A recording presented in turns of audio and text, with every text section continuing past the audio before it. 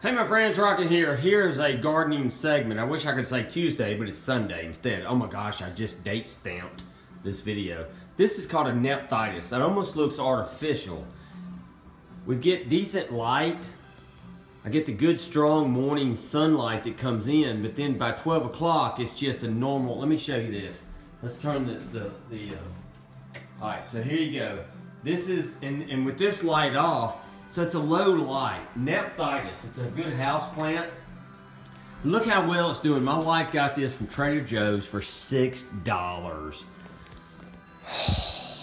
Rockett saying ain't so. No, it is so. Six bucks, Trader Joe's.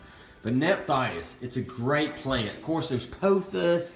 You have uh, Chinese evergreens. You have the peace lilies. But nephthytis is a great house plant for you to have in a medium to low light situation.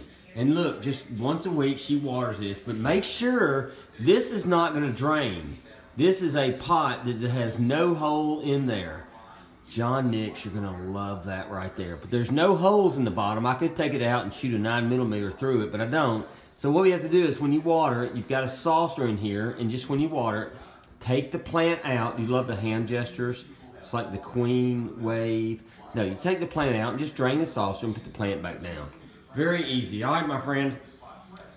I know we've got the winds of times are changing. The winds are flowing upon us, but here we go. House plants, for you people that still have a house. Nephthytis, it's a great house plant. Here's the Jesus poke just for you. Here it comes. It's coming out. Whoa, here it comes.